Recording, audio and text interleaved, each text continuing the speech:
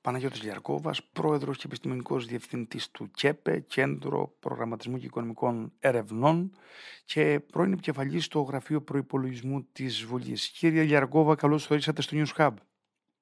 Καλώς σας βρήκα.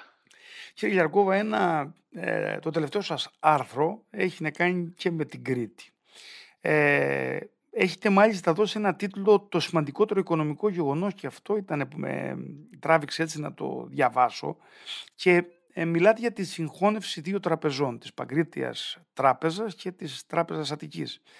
Θέλω, θέλω να μου πείτε γιατί πιστεύετε ότι η συγχώνευση ε, αυτών των δύο τραπεζών είναι τόσο σημαντικό γεγονός και ε, κυρίως πώς επιδρά αυτό στην κανονική οικονομία, δηλαδή στις μικρομεσαίες επιχειρήσεις, Βεβαίως, ναι. επαγγελματίες, ναι. αγρότες και το καθεξής. Ναι.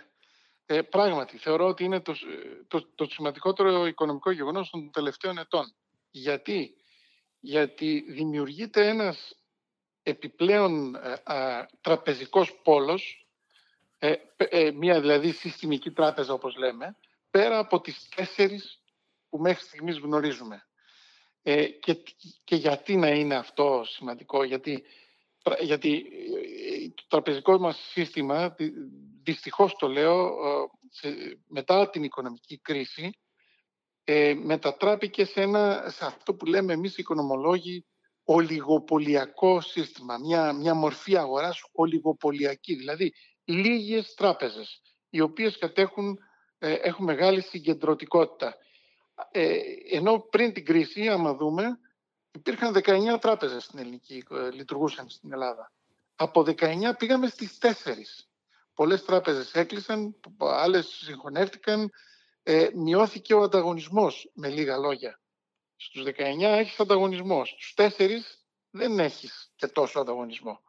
Δηλαδή δημιουργείται ένα καρτέλ. Ένα αυτό, δηλαδή μπορεί να συνονοηθούν για διάφορα ζητήματα. Ε, γενικότερα για τον πολίτη, για τον καταναλωτή, είναι καλό να έχει ανταγωνιστικές αγορές, να, να, να βλέπει να μειώνονται, για παράδειγμα, οι προμήθειες που, που παίρνουν οι τράπεζες, να δίνουν καλύτερα επιτόκια στις καταθέσεις και όταν παίρνεις ένα δάνειο να σου δίνουν ε, πιο, πιο χαμηλό, ε, να σε δανείζουν με, με χαμηλότερο επιτόκιο. Ε, ε, επομένως, μια τέτοια κίνηση όπως αυτή με τη συγχώνευση της Παγκρίτιας με την Attica Bank, δημιουργεί ένα πέμπτο πόλο, ενισχύει δηλαδή τον ανταγωνισμό, άρα είναι καλό για τον πολίτη, για την ε, οικονομία, για την ελληνική οικονομία. Και... Ναι, ναι, ολοκληρώστε γιατί... Και κάτι Έχουμε δύο τράπεζες οι οποίες εξυπηρετούν κυρίως μικρομεσαίες, ε, μικρομεσαίες επιχειρήσεις, αγρότες, επαγγελματίες. Στο τραπεζικό μας σύστημα έτσι όπως είναι σήμερα, ε, εγώ ακούω πολλές φορές ότι οι μικρομεσαίες επιχειρήσεις δεν μπορούν να δανειστούν. Γιατί τους ζητάνε ένα σωρό διάφορες προϋποθέσεις τις οποίες δεν, δεν εκπληρώνουν. Οι τράπεζες αυτές, οι δύο υποσυγχώνευση, επειδή ακριβώς έχουν μια εμπειρία, είναι πιο κοντά στη μικρομεσαία επιχείρηση, είναι στην περιφέρεια, στην Κρήτη, ε, στην Αττική, η Τράπεζα Αττικής, ε, έχουν και πιστεύω ότι και μετά τη συγχώνευση θα έχουν μεγαλύτερη επαφή με τις μικρομεσαίες επιχειρήσεις, άρα περισσότερες δυνατότητες για ε, πιστώσεις και για ε, χορήγηση δανείων. Με μια μελέτη που κάνατε στο ΚΕΠΕ, για να το πάρουμε λίγο από πιο πίσω το, το νήμα, ναι. ε, βρήκατε και ε, απαριθμείτε στο κείμενό σας τους λόγους που οι τράπεζες στο προηγούμενο διάστημα κέρδισαν πάρα πολλά χρήματα και θέλω να μας τους πείτε αυτούς τους λόγους και ναι. πώς με τον ανταγωνισμό τώρα αυτό λίγο αλλάζει την ισορροπία. Πράγματι, κάναμε μια μελέτη και βρήκαμε ότι στο ελληνικό τραπεζικό σύστημα, έτσι όπως είναι τώρα, έχουμε ε, οι τράπεζες τα τελευταία τρία χρόνια, δεν λέω για πριν, ε, πριν πραγματοποιήσουν ζημιές. Αλλά τα τελευταία τρία χρόνια που πραγματοποιούν κέρδη, ε, έχουν ε, από τα μεγαλύτερα ποσοστά κέρδους σε σχέση με τις άλλες τράπεζες που λειτουργούν στην Ευρωζώνη. Είμαστε πρωταθλητές. Είναι, οι ελληνικές τράπεζες είναι προ, πρωταθλήτριες. Ε, και από πού βγάζουν κέρδος οι τράπεζες. το κέρδος των τραπεζών προκύπτει από τη διαφορά επιτοκίων ε, δανεισμού και καταθέσεων. Χαμηλό επιτόκιο καταθέσεων, υψηλό επιτόκιο δανεισμού. Εκεί αυτή η διαφορά είναι το κέρδος. Και επίσης από τις προμήθειες τις οποίες παίρνουν από τους συναλλασσόμενους. Αν, όλοι νομίζω το έχουμε παρατηρήσει αυτό, ε, το τελευταίο διάστημα ε, το, το, οι προμήθειες είναι πάρα πολύ υψηλές.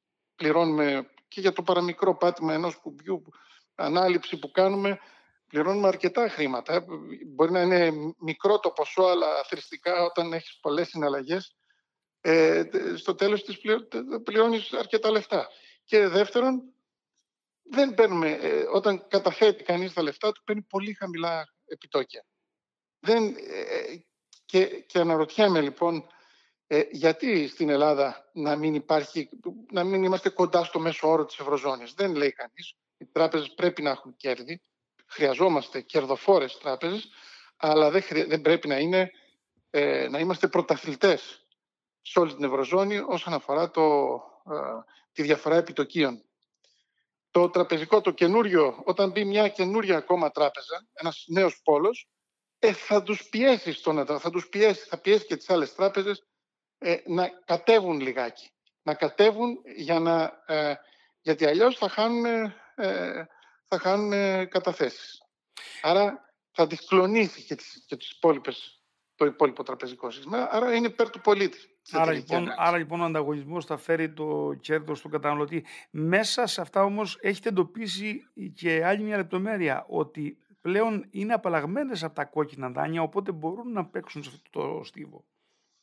Ναι, ναι, και, και είναι απαλλαγμένες ε, ε, από τα κόκκινα δάνεια, γιατί στο παρελθόν είχαν, είχαν φορτωθεί πάρα πολλά κόκκινα δάνεια, τώρα έχουν περάσει στα, στις λεγόμενες services τα κόκκινα δάνεια.